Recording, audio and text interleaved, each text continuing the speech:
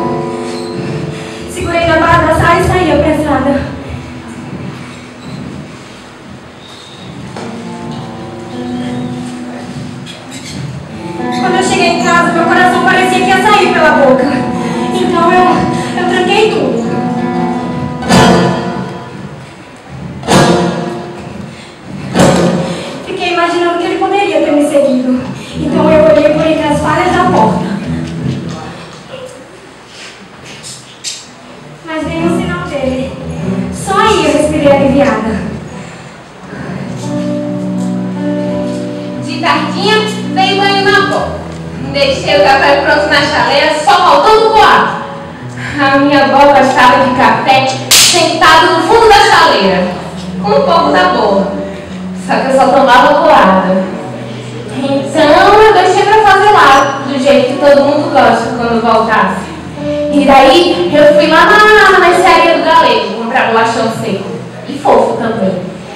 Aí, só que essa mercearia na verdade era da dele, porque ficou pra ela quando ele morreu.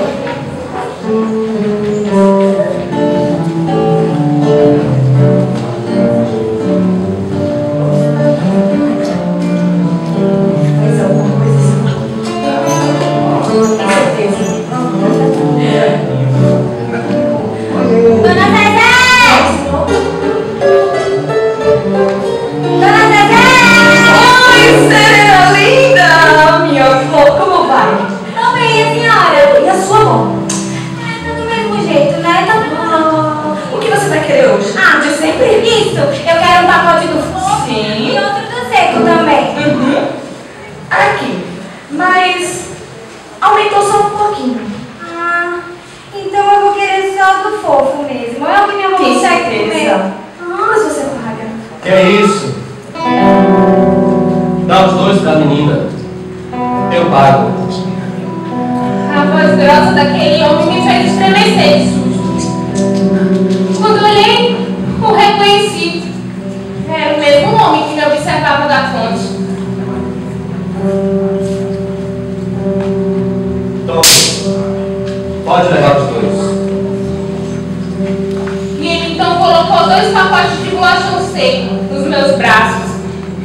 De leve eu senti suas mãos tocar os meus seios. Eu me ajeitei meio sem graça. Menina.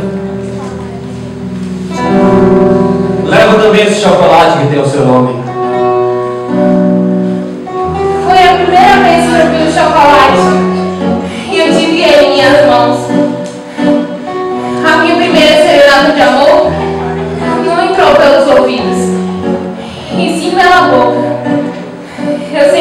Os chocolates lá de longe, na prateleira, mas nós nunca tínhamos dinheiro para poder comprar. Na verdade, tínhamos pouco dinheiro. A minha avó vendia doce de goiaba. E aí eu ajudava ela e também os empregados. E aí tinha alguns fregueses que sempre encomendavam. Mas como a qualidade não era mais a mesma, as que continuavam encomendando faziam isso porque sabiam que a necessidade era ainda maior.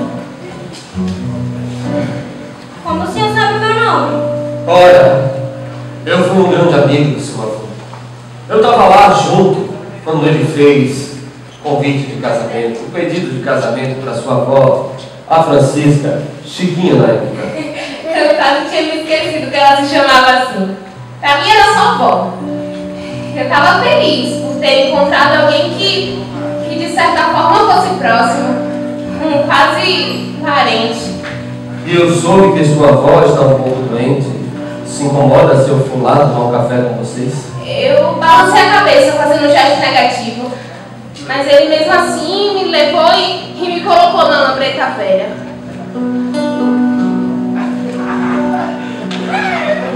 Isso. Assim é mais seguro. Eu nunca tinha andado de nada parecido antes. A única coisa de diferente que eu já andei na vida foi, foi de carrinho de mão. Quando eu ia pegar as mangas caídas lá no fundo do quintal. Ele me colocava em cima e, e corria de um lado para o outro. Eu morria de medo, mas adorava. O meu avô meu avô era meu avô, né? Então eu confiava nele. Eu sabia que ele não ia fazer nenhum mal. E, e eu acreditei que, que aquele homem, por ser mais velho e conhecido da O caminho da mercearia até em casa a pé não era tão distante assim. Mas naquela lambreta velha, parece que o caminho havia complicado. Eu sentia ele pressionando seu corpo para frente e me prendia nas suas pernas. Mas eu estava confiante de que ele sabia o que estava fazendo. Quando chegamos na casa da minha avó, eu fui correndo preparar o café que ainda estava quentinho. A vontade de fazer tudo no fogareiro é essa. Ó, temos visita. E ela te escuta? Não, acho que ela só escuta o meu avô. Mas o seu avô morreu.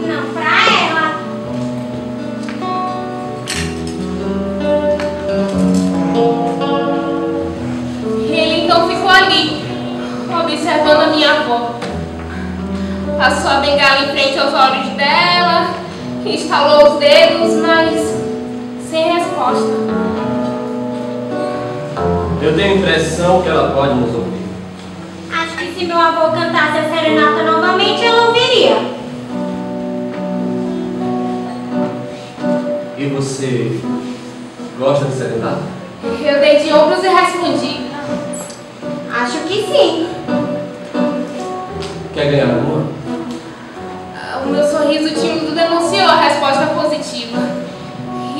Então tirou algumas serenatas do bolso e jogou sobre a mesa. Veja só. Se eu tivesse um violão aqui, eu ia fazer uma serenata. Para uma serenata mais linda. Mas como eu não tenho, eu tenho um pacote aqui cheio delas. Afinal, vale mais um pacote de serenatas na boca do que um amor ouvido. Relaxa.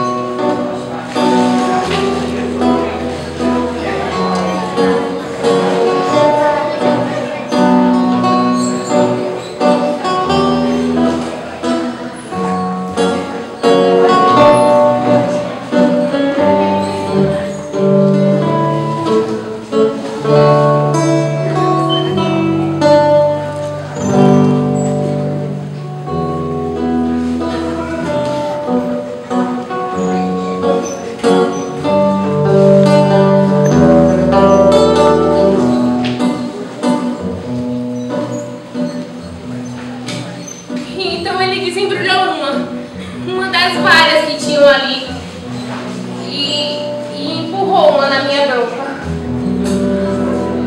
Eu comi receosa, mas o sabor daquilo era tão bom que minha expressão no rosto era um medo de misto de medo e, e prazer. Quando eu engoli, ele disse. Olha só. O chocolate derreteu nos meus dedos. Então colocou seus dedos grossos e envelhecidos na minha boca. Eu, eu ainda assim não sabia o que fazer. Eu achava que estava tudo indo certo e que ele sabia o que estava fazendo. E ele continuou fazendo isso e por mais que eu quisesse gritar, eu não conseguia. Ele ficava colocando serenatas de amor na minha boca e o gosto daquilo parecia ser bom. Gostosa. Foi quando ele disse gostosa e me empurrou sobre a mesa. Quando eu me dei conta, os seus